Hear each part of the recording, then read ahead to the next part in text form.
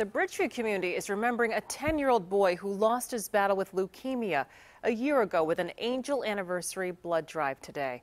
The family of Oliver Canellis is hoping Bridgeview neighbors and friends can donate more than 100 pints of blood. The blood drive will take place from 9 this morning until 3 o'clock this afternoon at the Bridgeview Community Center on Oketo Avenue. And you can call 877 543 3768 to schedule an appointment to donate.